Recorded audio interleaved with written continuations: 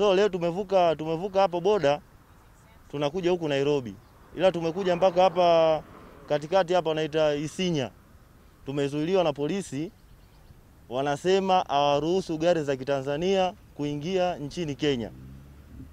Sasa sisi tunashangaa gari za Kitanzania hivyo zi- haziruhusiwi kivipi kuingia Kenya wakati tumetoka wapi? Tumetoka boda mpakani na tumepewa kibali cha kuingia huku. Sasa tulipotoka boda hatujapewa taarifa yoyote ya kuidhinisha kwamba haturuhusiwi kuingia Nairobi.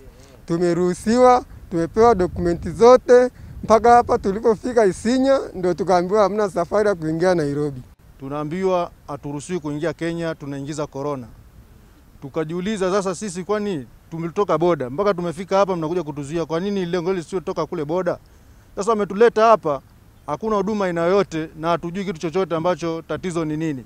Nimetoka Burundi, ntarudi aje? Diesel sina, pesa ya kule imeisha. Mimi mwenyewe nilikuwa nimefika Nairobi, ndio nilikuwa nakuja. Sasa wanasema ripoti imetoka juu. Hapa nimepaki hapa petrol station, sijui nitaishi aje, sijui nitakula nini.